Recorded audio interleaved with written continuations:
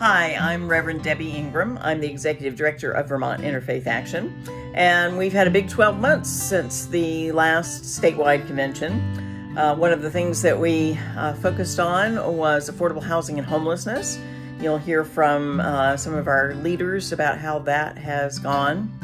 We also have two different groups working on racial justice one focusing on economic opportunities, and they've been primarily focused on getting the Declaration of Inclusion adopted by all the municipalities in Vermont, and you'll hear more about that from some of those leaders.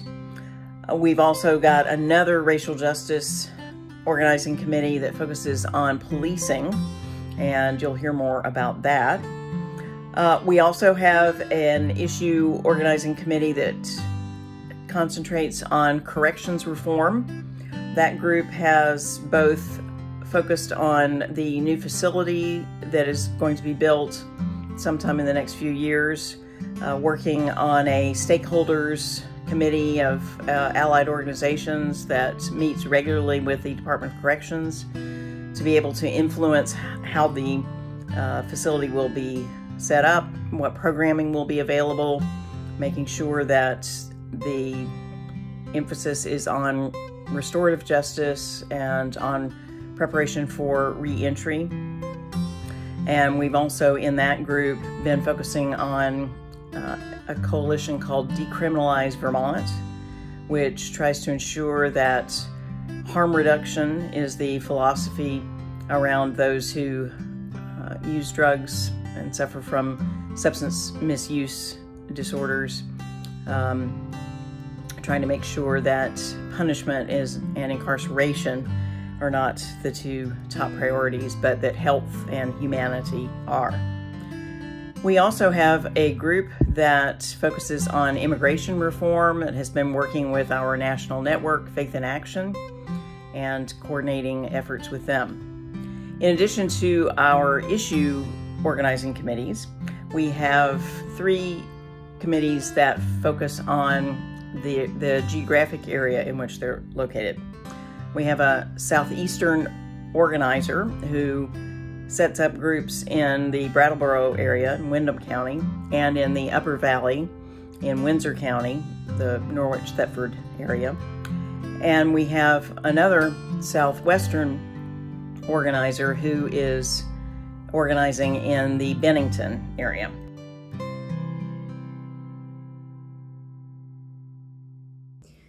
Hi, I'm Amy Roth. I'm a member of Temple Sinai in South Burlington. And since December of 2022, I've been a member of the VIA Housing and um, Homelessness Organizing Committee. Hi, I am Beth Ann Mayer, a deacon in the Episcopal churches in Barre and Montpelier, and a member of the VIA Affordable Housing and Homelessness Organizing Committee. I'm Karen Shaffield, and I'm a member of All Souls Interfaith Gathering in Shelburne, Vermont. I also participate on two of the organizing committees for VIA.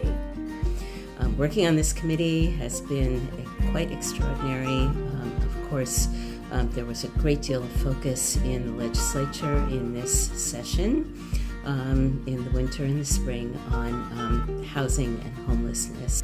The Housing and Homelessness Organizing Committee regularly monitors state legislation regarding housing policy and advocates for meaningful change. This includes meeting with state legislators, government officials, and other stakeholders regarding the need to ensure adequate and ongoing housing for persons in need of emergency shelter. If you can believe it, in 2015, we had the hubris to label our campaign Ending Homelessness in Washington County by 2020. If nothing else, community organizing broadens your capacity for humility and perspective.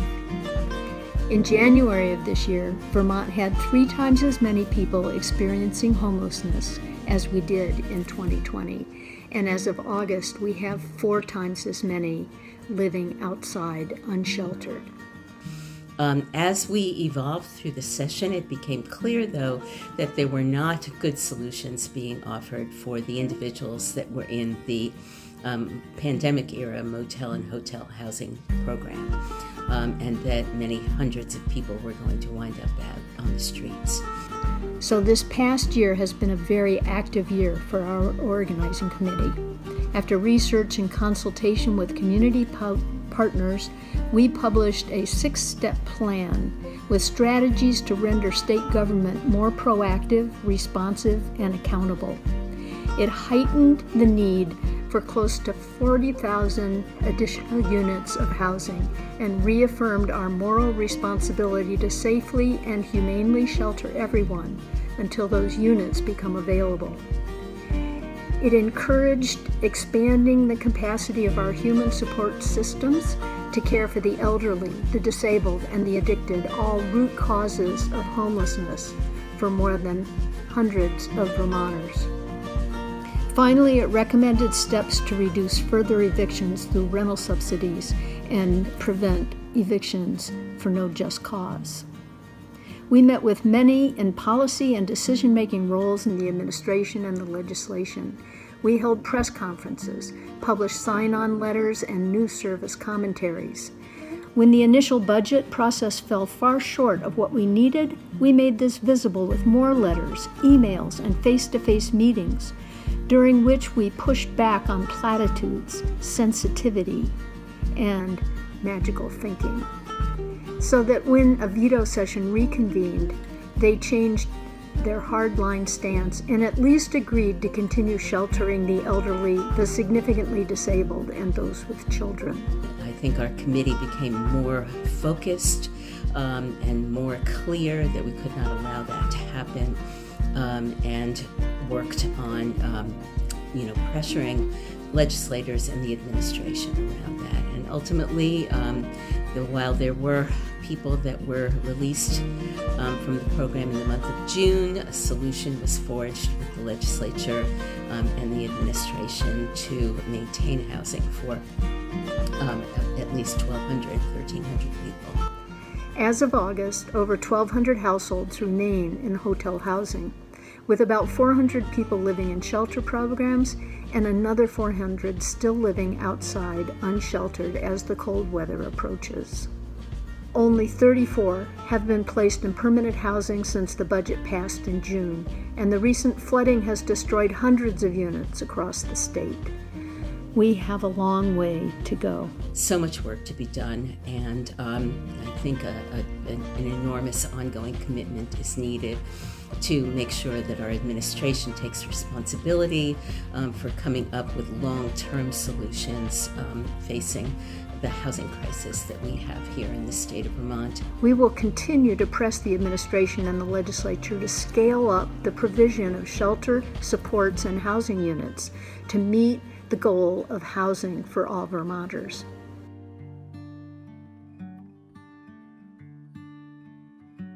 Hi, my name is Lucia White, and I am part of the Racial Justice Public Safety Group through VIA. Our group is focused on helping improve police and community relationships.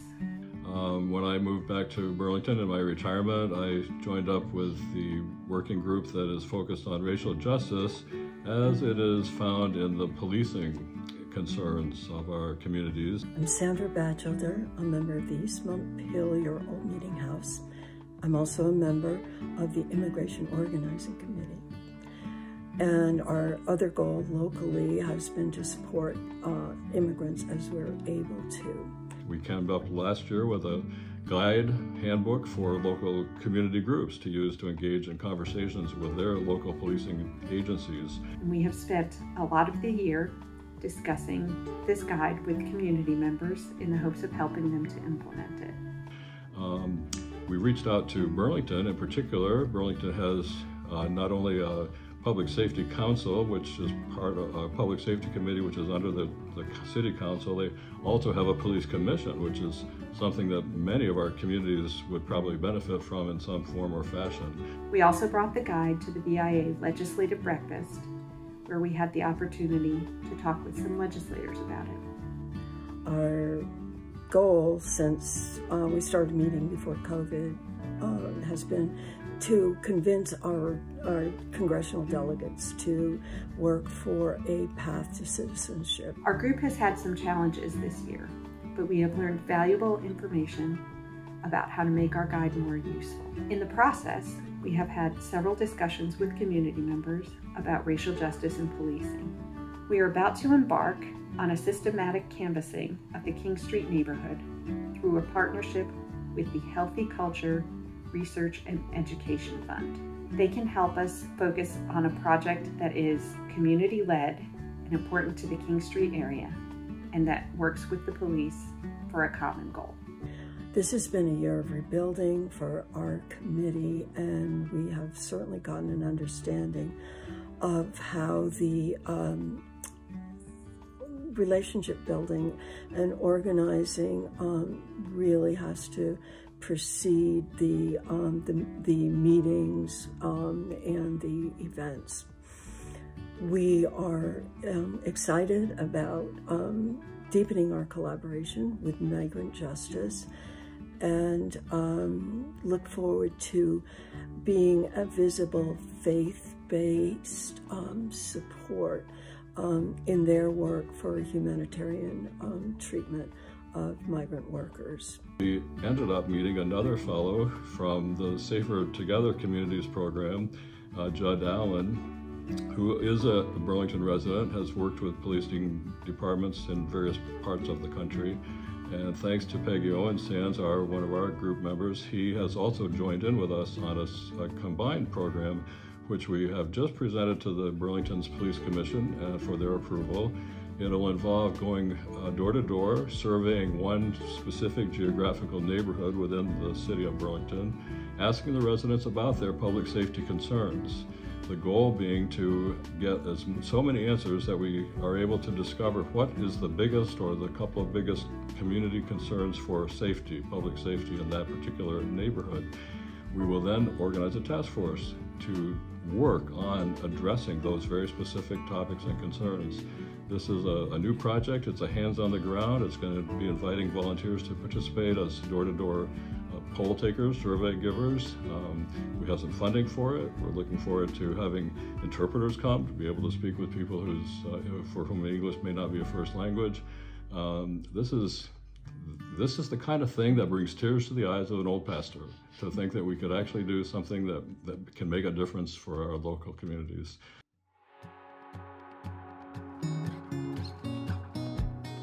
The Racial Justice Economic Opportunities Committee worked this past fall in tandem with the Vermont Racial Justice Alliance to help successfully pass Prop 202. The Prop 2 was uh, updating the language in our Vermont Constitution on slavery. Two things I recall are this committee working on this year. First was working to abolish slavery in the Vermont Constitution. And there had been some loopholes in that uh, that had been dangling about for centuries and, and uh, inspired by the community of color in Vermont. Uh, there was an effort to tighten that up. Abolished slavery without exception in the state constitution. Once people understood what it was all about, there was overwhelming support, which, which translated actually to, I think, 88% of the vote. Uh, in any event, we had a great experience uh, meeting people, talking to people, and, and helping get the word out. And it was gratifying to see statewide uh, what a strong vote we had. The committee also partnered with the founders of the Declaration of Inclusion and other supporting organizations to encourage towns and cities within the state of Vermont to pass the declaration. After that, much of our attention turned to the Vermont De Declaration of Inclusion. We identified towns and municipalities that we then reached out to to find local champions to help get this declaration passed in their town. Fred Brunig here. I'm a lay leader at the Guilford Community Church, United Church of Christ.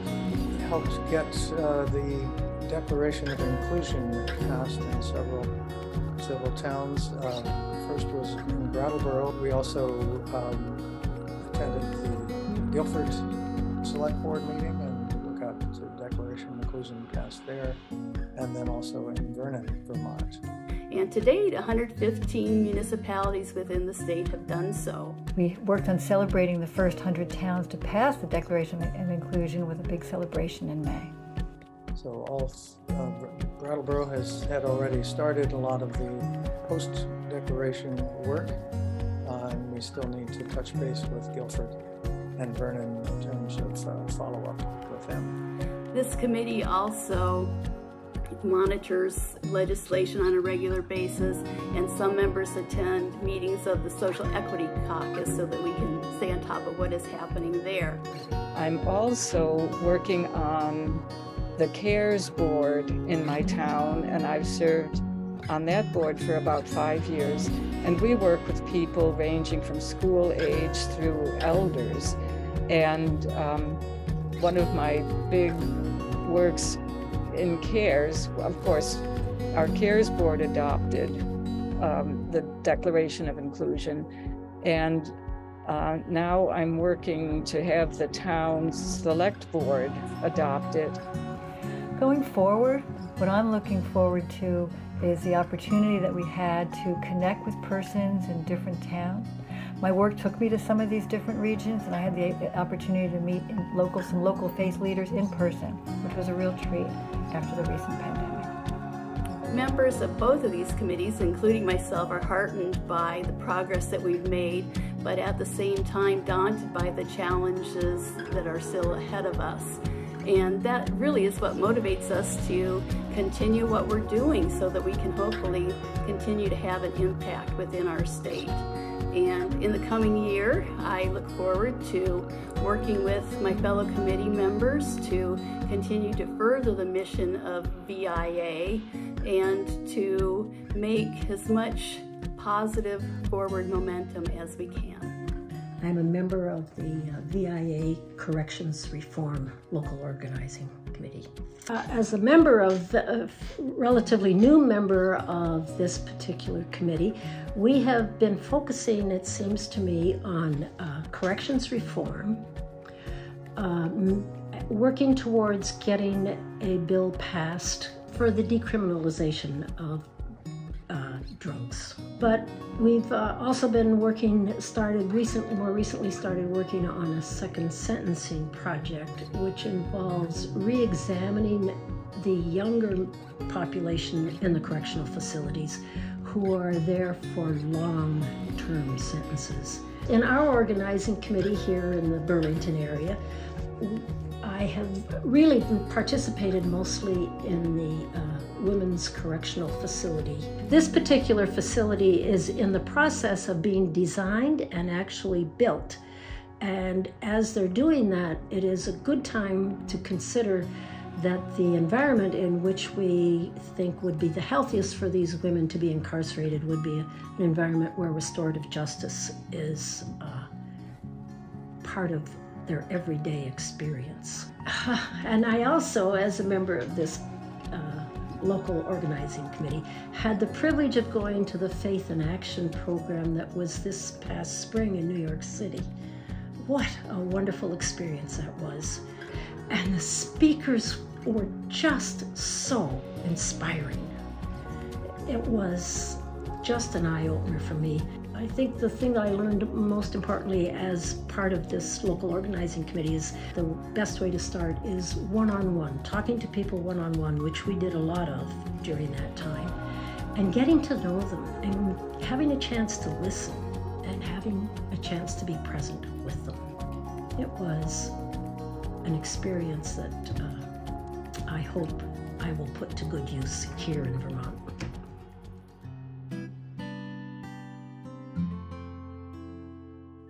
And so I think that as we go about the work of uh, trying to bring about a healthier planet, healthy, healthier society, and to encourage diversity and respect uh, for all people and indeed all creatures, that it's important always to check ourselves out. At the end of each meeting agenda, we hold space for an evaluation of the meeting. Often words such as energized, excited, committed rise up. Sometimes the words frustrated, discouraged, and uncertain also spring up. But always there are words such as moving forward, making progress, and so happy to be doing this work with you all. You know, I have really enjoyed being executive director of Vermont Interfaith Action for the last 17 years now, um, almost anyway, 17 and a half. Um, VIA is is a special organization, and it's because of all of our leaders who are really interested in making sure that the, we live in a world where our faith values of compassion and justice, values that are shared by all of our different faiths, where those faiths are allowed to flourish and become the real basis of our society. Sometimes it's an uphill struggle. Um, it's been it's it's hard, especially in our society these days. And we know that Vermont is different in a lot of ways, which is which is great. But we also know that we want to hold Vermont to the highest possible standard, not just compare ourselves to other states, but really uh, compare ourselves to the standards that our faith traditions call us to, the vision of a world that is just and compassionate. And so we subscribe to the theory, I think, this year that much has been accomplished, but there is much left to do. And so I look forward to the next 12 months working with all of you, making sure that our faith values are the basis of our society and that every every human being has the the hope and the power to make the changes that they want to see for themselves and their families and their neighbors and for all of our communities.